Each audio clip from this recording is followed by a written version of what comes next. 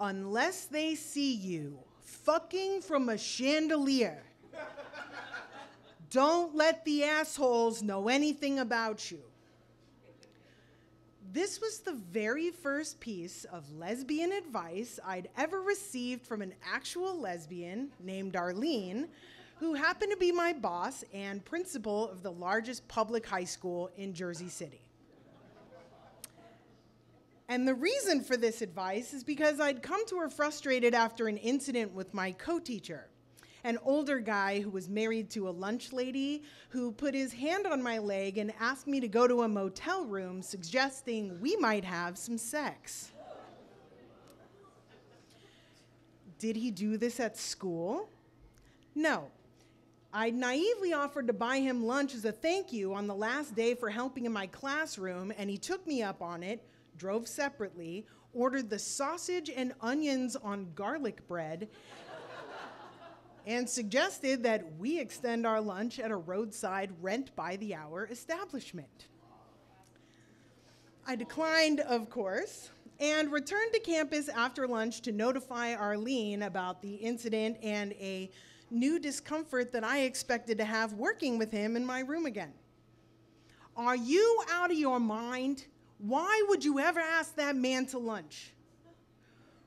Well, it's something I'd done consistently with my co teachers in California, a sign of respect and gratitude between two professionals who shared instructional space together. Don't ever do that again. You give people the wrong idea. But how can it be the wrong idea when I'm pretty sure everyone already knows I'm a lesbian? She froze, dead as a record scratch, and looked at me like I had five heads. You listen to me because I'm only to tell you this one time and then you're to have to learn the hard way. And then she said the bit about fucking from the chandelier and assured me she'd take care of the situation. And then she sent me on my way to graduation practice with a now get out of here. Arlene was a spitfire of a woman in her early 60s who'd graduated from this high school long ago and managed to scrap and claw her way to the top. Stuck in a position as vice principal for over a decade, she took the reins as acting principal when her predecessor left suddenly with a terminal illness. I heard that she'd been passed over for this job several times as a woman and a lesbian competing with straight white Italian and Irish men for leadership positions in nepotistic North Jersey during the Don't Ask, Don't Tell era. She'd been protective of me since the first day I started working there. And that's not to say she was ever particularly nice about it.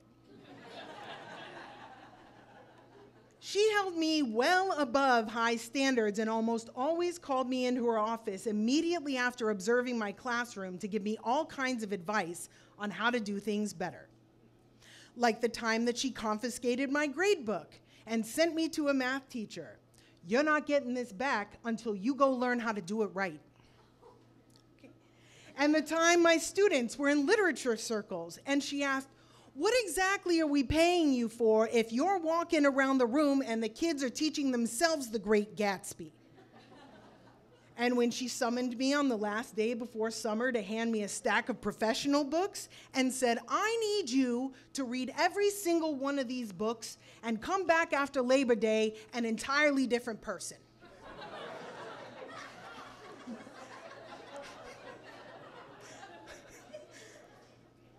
So the energy underneath these meetings was more than just her wanting highly effective teachers in the building. For some reason, she was pushing me to be the best.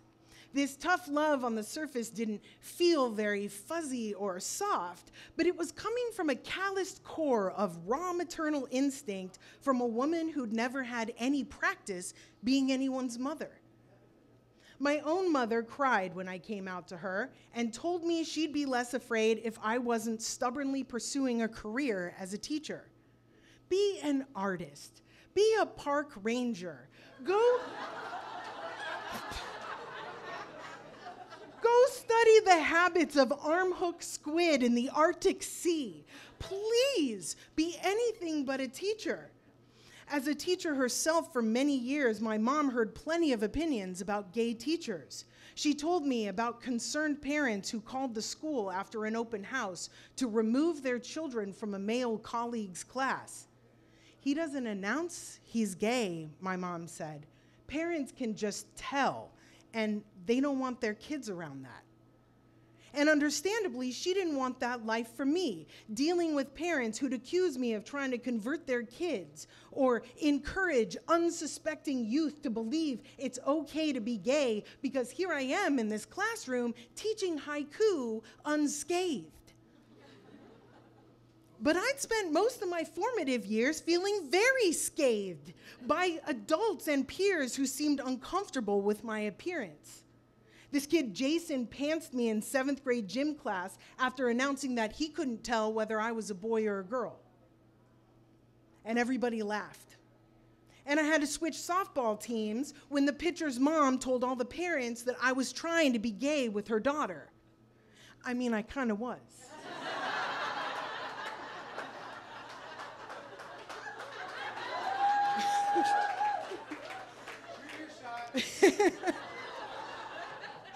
but that's hardly the point. And then my ninth grade English teacher assigned a three part autobiography entitled My Past, My Present, My Future.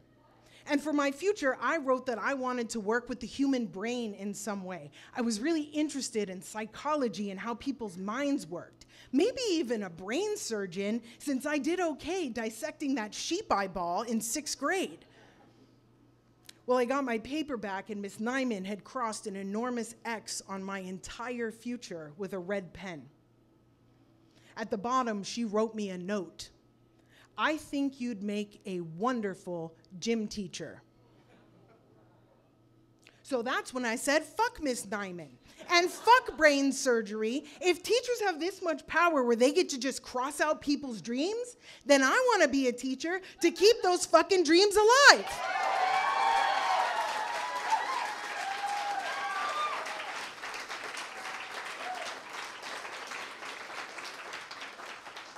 Because as much as parents might have a problem with me as a gay teacher, what about all these shitty adults who have a problem with gay kids? I will be their champion, their advocate, an example of what they can dream for themselves beyond the stereotypes of U-Haul driving Home Depot shoppers and fragrant manicured hairdressers with impeccable style. But my determination to change the world as a gay icon started deflating when my mom insisted on buying me a wardrobe of feminine teacher clothes from the Macy's women's section before I started my first day of student teaching. And in those uncomfortable floral frocks that didn't fit my authentic vibe at all, I hoped to stay in the shadows of the closet, turn the lights off on my personal business, and prayed to God no one would be able to recognize a woman who preferred the company of other women. When I started teaching in New York City the following year, I confided in a couple of new teacher friends that I was living with my actress girlfriend, and it quickly got around the building that I was gay. And the vice principal started riding my ass and writing me up for some pretty ridiculous things, like chewing gum and drinking coffee in front of my students and putting the date and the time, but not the year, on a hall pass. She suggested I wear even more feminine clothing and start coiffing, feathering, and styling my hair. My discipline file was three inches thick before colleagues began openly speculating that this woman might have a problem with me because I was gay and she was Irish Catholic. But I refused to believe that she could just tell. It's not like she ever saw me being gay. I kept my gay card in my pocket when she reminded me in our weekly meetings that this wasn't the right job for me, that I don't have what it takes. And somehow, in her Irish brogue, this woman annihilated my morale enough that by the end of that school year, I was like, fuck this job. If all it is is constant bullying and squeezing into girl clothes, how am I catching shade even when I'm intentionally editing myself? Maybe my mom was right. People don't want the gays in education. But then I met some Jersey Italians who took me for a roast beef sandwich at Fiore's in Hoboken. And they told me they knew a few happy gay teachers in Jersey City, one of the highest paying districts in the state. So I decided not to give up on teaching just yet and moved across the river confident that my friends wouldn't steer me wrong after that sandwich. And so that's where I met Arlene. And knowing she was looking out for me made me feel safer than I had anywhere else. So I worked my ass off to become the quietly confident teacher she was grooming me to be, who just happens to be a lesbian, but that's nobody's fucking business. But that warning about the chandelier was yet another familiar proposal to stay cooped up in a box, like veal, stifled from growing into the big, beautiful gay cow I deserve to be.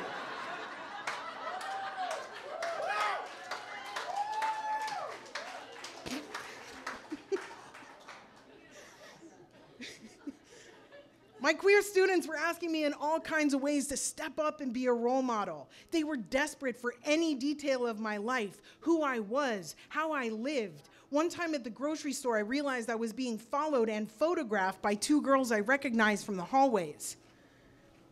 And I understand why. I never knew any gay adults when I was growing up, or if I did, I wasn't able to recognize them in the wild. In middle school, we had two female gym teachers who seemed kind of gay. I studied a handful of public figures with crossed fingers like Jodie Foster and Ellen, looking for any evidence that they might be grown up versions of who I could become. But in those days, we were still hanging disco balls and fancy light fixtures in the closet, avoiding confrontations where anyone might try to use queer identity as a weapon to discredit accomplishments and talents. I understand why the closet was the safest place in those days but I was certain I was not built to live in the world that way. When Arlene started having health issues, she would take days off, something she'd never done in all the time I knew her. Her office sat empty for a few days, and then she'd come back for one, and off a few more days until one day she just never came back. No party, no forwarding address, just some rumors she retired and lived down the Jersey Shore with her longtime partner. When the interim principal took over, I felt my layer of protection dissolve. I was on my own now, confronted with sorting her advice into piles. Some of it had to go. I could keep some for myself, but some of it I might be able to recycle for a new generation. I first peeked out of the teacher closet for tie day during our Dress for Success Spirit Week. I went out and bought my very first tie, a bright yellow Jerry Garcia design, and I wore it nervously all day. I definitely looked more gay than usual. Worried my students might sense the exhilarated comfort I felt wearing it, I stayed close to my desk all day to avoid attracting too much attention. What if one of them said something critical or mean to test my vulnerability? I don't know how I'd even respond.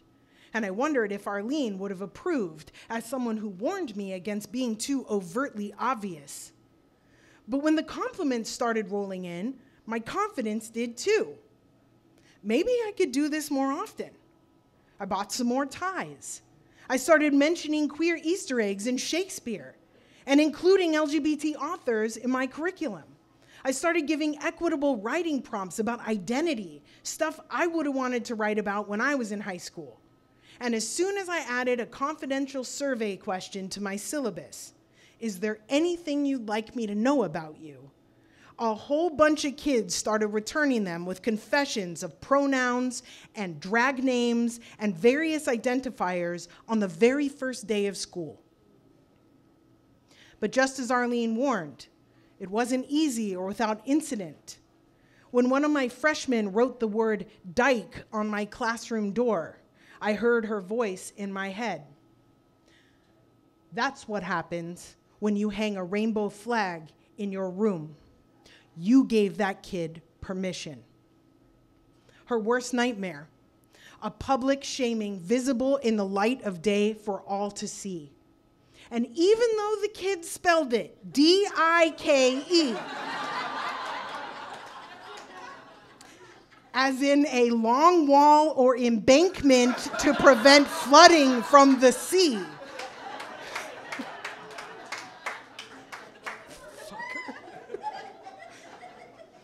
The intention behind it was yet another heartbreaking reminder that I can't change the world fast enough.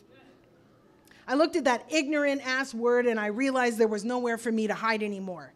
My shame burped right up to the surface. I couldn't even bring myself to mention it to my students. Terrified, I'd reveal just how much it hurt me. Horrified, I'd confirm what they already suspected and they'd go straight home and tell their parents. The only thing I could find strength to do was sit with it uncomfortably with the word dyke, with my relationship to my sexuality, with the idea that who I really am is getting in the way of who I've always wanted to be. And I realize this may not be the last time that someone tries to pit me against me. My skin stayed so soft hiding out in the closet all that time. I needed calluses resolved to rub myself against the world and finally build up a tolerance. Look, I am neither agile or acrobatic enough to conceivably fuck anything from a chandelier. but I can certainly get my ass up there like Cirque du Soleil and swing around knowing that those who anchored the hooks made sure they're strong enough to hold me. Since I started wearing ties and living more authentically, I've started sharing some advice of my own. Several friends have asked me how they can best support their own kids who are starting to explore the spectrum of gender and sexuality. At a holiday party a few years back, a colleague approached me and said, Oh my goodness, can I please take a picture of you to show my daughter your style? This is exactly how she wants to dress. My students ask me without shame or hesitation about relationship scenarios and what all the pride flags mean and where to find gender neutral clothing and books with characters like us. My principal escorts parents into my rainbow classroom to assure them that there are teachers on campus invested in equity and creating safe spaces for their children. And so, if I keep doing this right, Maybe it'll ripple and spread outward. Maybe someday we'll all be so comfortable celebrating each other's unguarded realness that it won't even matter anymore what's going on up there in the rafters. So, for my final exam this year, I gave my 10th graders a writing assignment an autobiography. My past, my present, my future. And for their futures, they wrote about travel dreams and hopeful career paths and having families of their own one day. One girl who was barely pulling a D in my class wrote that she wants to study exobiology at UCLA and work for NASA. She wants to go to space one day. She turned in her paper three days early. And after I read it, you know what I did? I shared a quote with her from my favorite book. When you really want something, all the universe conspires to help you achieve it. Listen to your heart and trust it, sis. If anyone can do it, it's you.